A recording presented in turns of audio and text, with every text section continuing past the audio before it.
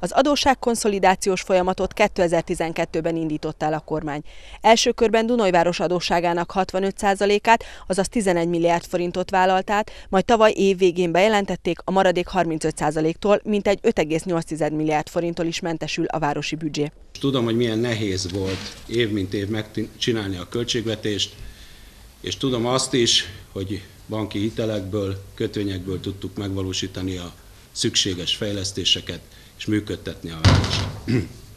A polgári kormány úgy döntött, hogy rendbe teszi az országot, és úgy, ahogy az IMF hiteltől megszabadította az országot, úgy a városokat is a fennálló tartozásoktól, és abban még tavaly közreműködtem, amikor Donás önkormányzatának közel 17 milliárd forintos hitel állományából 65%-át elengedték, mint egy 11 milliárd forintot, és a mai nap azért gyűltünk össze, mert a kormány úgy döntött, hogy tehermentesíti az önkormányzatokat, tehát a maradék 35% is elengedésre kerül. Balogh Zoltán emberi erőforrás miniszter kiemelte, 2005 óta az önkormányzatok adócsapdába kerültek. Nem tudtak fejlesztésre fordítani, sok esetben még működési nehézségekkel is küzdöttek.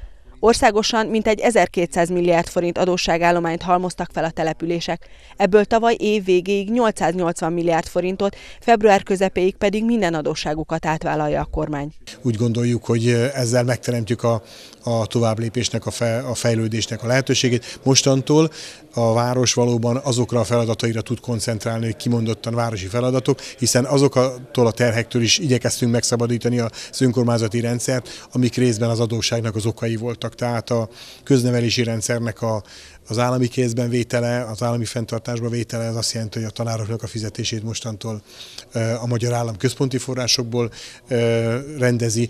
Az egészségügynél a kórházakat is szintén állami fenntartásba vettük, tehát ott is a költségeket nem a a városi költségvetésbe kell sakkozni, hiszen egy ilyen nagy kórház az, a, az számos más település is ellát, mint amilyen Dunai városban van a környékről. Épp az előbb hallottam a számot, 26 ezer eh, ellátotti, 26 ezeres ellátotti köre van a kórháznak.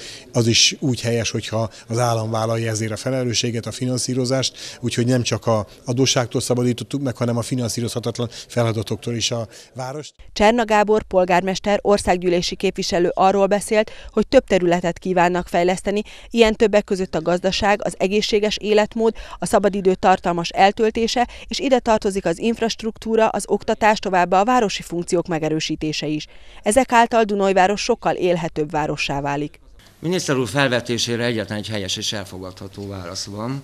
Igen, Dunajváros önkormányzatának vezetése köszönettel elfogadja a kormány felajánlását, és a kormány nagyon határozott és okos elvárásainak megfelelően megfelelünk annak a kérésnek, annak a kitűzött célnak, hogy igenis a következő középtávon, következő 7-8 évben itt nagyon komoly. A már beindult gazdaság élénkítő fejlesztések mellett további egyéb nagyon komoly fejlesztések tudjanak Dunajvárosban a felszabadult, megkönnyebbült költségvetési források lehetőségeinek jobb, kötetlenebb felhasználásával működni.